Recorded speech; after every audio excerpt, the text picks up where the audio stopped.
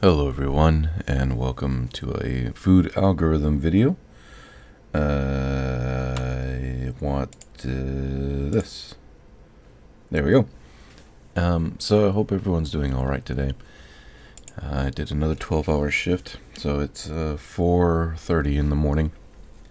Actually it's 4.48 in the morning, which means if it hits 5 o'clock that'll be about 10 minutes, so this will be about 10 plus minutes. I actually wanted to go ahead and uh, I was talking about I think uh, I think in my last algorithm food video from yesterday I was talking about the fact that um, the colony ship is a little broken. There's a few things that while flying in space I realized was uh, very very wrong. So we're gonna go and fix that.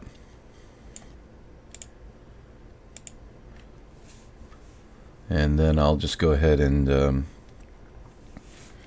relaunch it. There she is. Isn't she pretty? Oh, no, no, no, no, no, no. Uh, so, um, my work is very strenuous, and uh, unfortunately, my wrists, the nerves are pinched, so uh, if... Um, if I move my wrists in a certain way, my fingertips go numb, and it's very hard to uh, use the mouse and keyboard when you can't feel the keys or the mouse. oh boy, woe is me. So, yeah, I got that to worry about. Uh, uh, excuse me. No, I don't mean to yawn. No, everybody, don't yawn. Don't yawn. Don't yawn. I know yawning is contagious. Don't yawn. Don't do it. Fight it. Fight it. Man, I wish my wrists would freaking stop doing that. Okay, so, um, what was broken is the fact that, uh, uh, I, I accidentally loaded everybody up in the craft. And hello. Oh, more flood warnings, great. So when I had, oh my gosh. So when I had the, I'm going to actually shut you down. Just shut up. There you go. Um, so when I had a pilot in here, there's nowhere for him to go because of the fact that all this was filled up. So that was one problem. Uh, the other problem was that um, there was no, other than this decoupler up here, there's no other way to get an engineer out, right? And uh, we need, we sort of need an engineer to strap down this this piece right here because when it, when you activate the engine it tends to uh, come backwards, like a like a uh, like a reed in the wind or something. Um, so, also the setup, I found a better setup uh, that would um, be a, a, little bit more uh, aesthetically appealing. So we're going to do that as well. So I'm going to take this, pop that out. Luckily, they're separate, so I don't have to worry about um, symmetry in this case. Take that, pop that back out. Okay. Uh, let's see here. And I'm going to take this and then like that. Okay. And uh, let's see. Um, I'm going to take this doohickey. Uh, doo -doo -doo let me see, what would look better? Side or I'm gonna say this one, okay.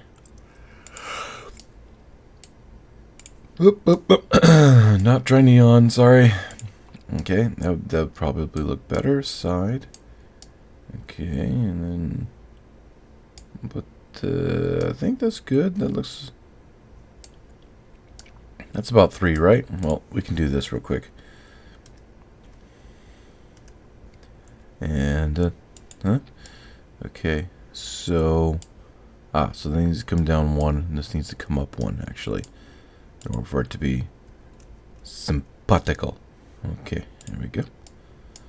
So grab that, bring it up. Grab this, bring it down.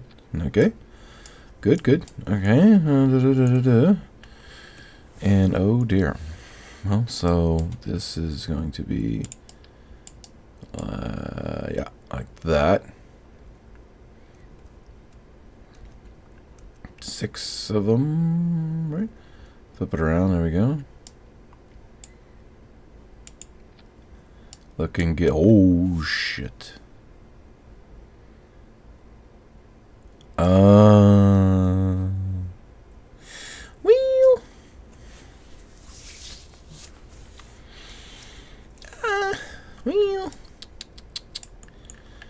Okay, I, can fix this. I can fix it. I can fix it. I can fix it. So what I do is if that's the case, I'll make this uh, the original attachment and put that right there. Okay, so that that way it'll hopefully it'll work when I attach it to the main body of the rocket later on. Obviously I won't have time for that this video. Okay, and I'm going to take it and I'm just going to squeeze it in just a pinch.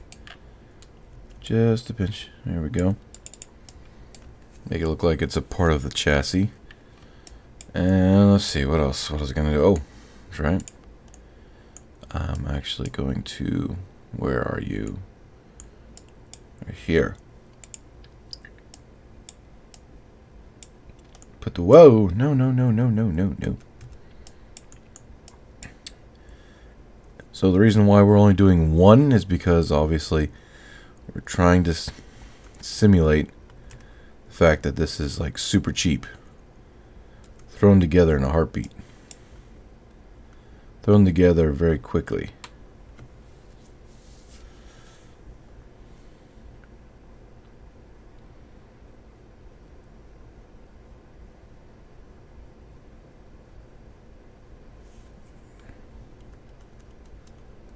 There we go. Okay, so I'm not liking the fact that the solar panels are clipped into the fuel tanks. Oh, that's not even part... Hold on, I need to know which side, what, what this is attached to. Is this attached to that?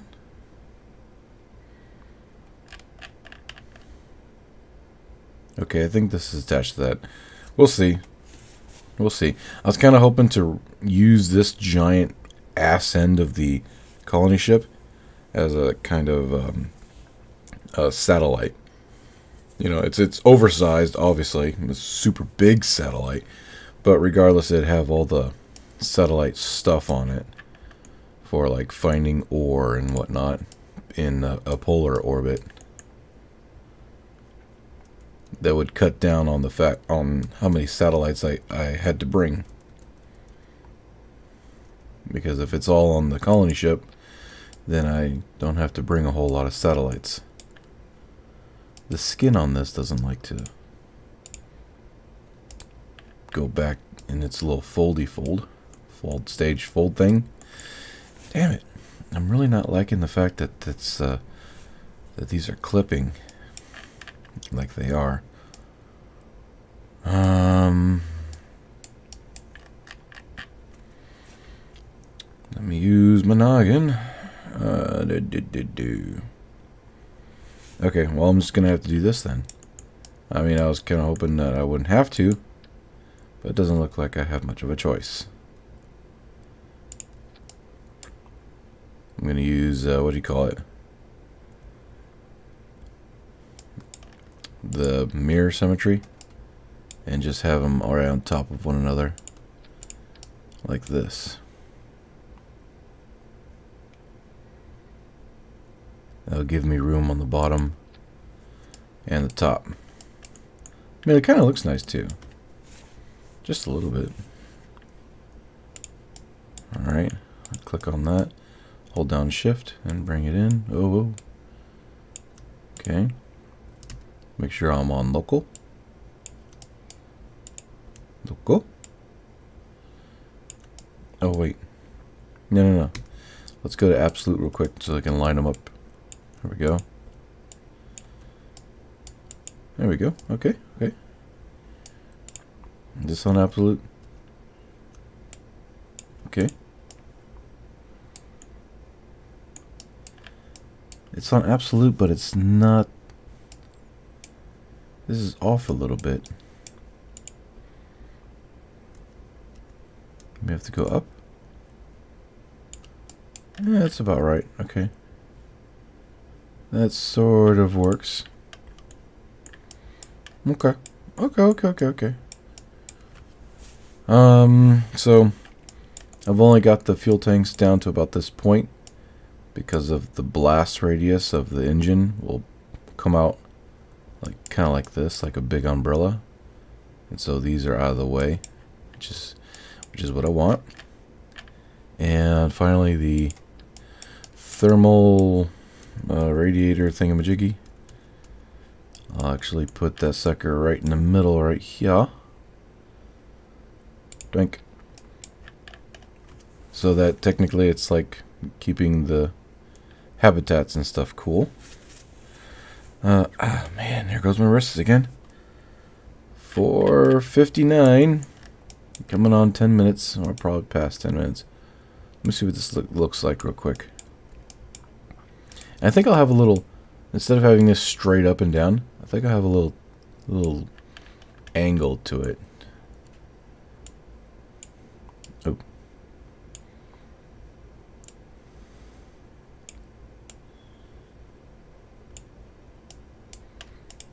Okay, a little angle to that.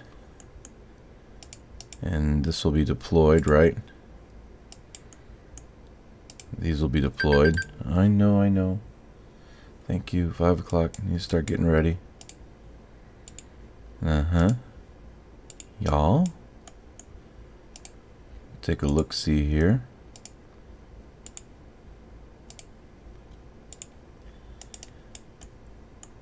Oh, I mean, that's not too bad looking. Uh, I mean, that's not too bad looking at all. Open that up. Deploy.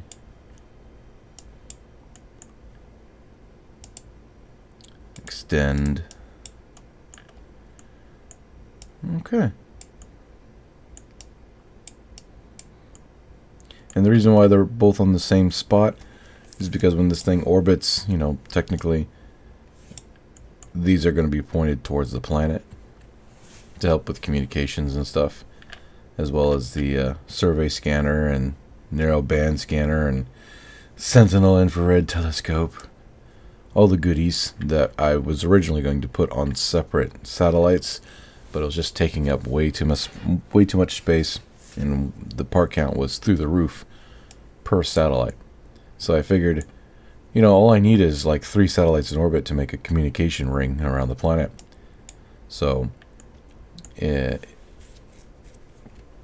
the spirit of being thrifty, uh, this whole vehicle is going to be used up for the colony.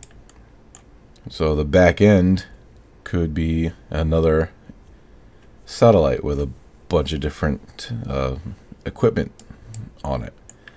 Whereas the satellites that are necessary are stocked in the front of the craft. So you got the two communication satellites, that's all they are, just communication satellites.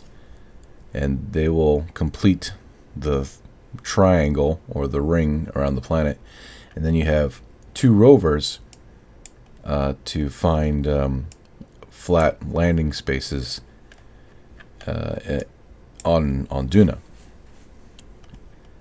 So basically, when this thing parks around Duna, this top will come off, and so the decoupler module will come off and pretty much be garbage. All the satellites will be used, then that will pop off, and once the landing spot is found. You got the factory that'll pop off. When that lands, it'll build a little factory and stuff, and then when that factory stuff is done, then these landers will pop off. One, two lander. This will be left over in orbit for satellite reasons, and that's when the colony starts being built. So the entire ship is used. And I, I, I really like that. I mean, maybe except for this decoupler part, that's not going to be used, and some of the pieces that are in between here, sure, that's going to be space garbage. But for most part, 95% of the craft is used for the colony. Which is nice. I like that. And I kind of like the, the I kind of like this look right here. This look, it, it looks it looks good with uh, having yeah, like this uh, spoiler up here and then all the communication and the other stuffs down here. Looks really nice. I like it. Alright, well that's time everybody. Thank you so much for watching and thank you so much for being a part of this channel. I'm sure I'll do a little bit more to it before uh, I do a, a, a let's play. I, I don't know. I'm, I'm thinking about doing a cinem cinematic first like the cinematic I did for the um, launching bit, which I, I, I got yelled at.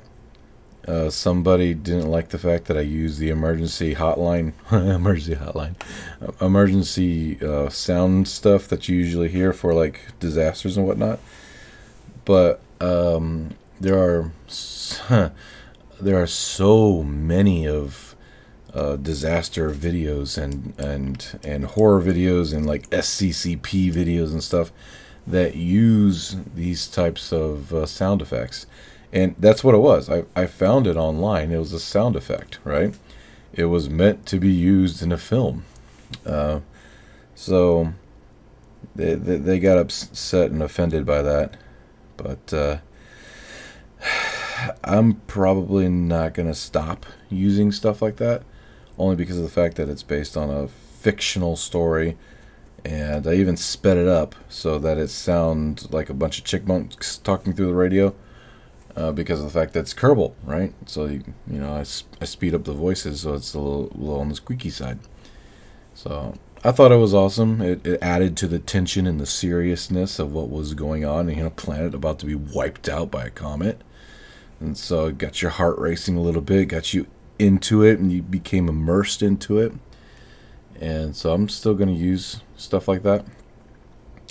Um, but um, yeah, it's just uh, it it caught me off guard a little bit um, when um, I was told not to use that anymore. I was like, wow, damn. but you know, if uh, if if you're offended by anything I make and whatnot, then I apologize. I really do. I super apologize. I'm not going to stop doing it, but I apologize 100%. Um, you know, for for me personally, it's fictional and it's meant for entertainment, so it's not real in any way. Uh, I don't know why that that got to me. Oh well, I'm not gonna I'm not gonna let it get to me anymore though. So all right. Well, I love you all. Thank you so much, and please be safe out there. It is. Uh, it's. I almost got rear-ended and hit twice coming home last night. I mean, I don't know what's going on. Maybe it's the election thing going on over here, but people are crazy. I mean, you got to drive defensively, uh, like you like like they're after you or something. But anyway, alrighty, that's me. I'm I'm I'm off to work for another 12 hour day. Later, everybody. Bye bye. See you in the next video. Bye bye. Bye bye. And I'm out. I'm out. Click.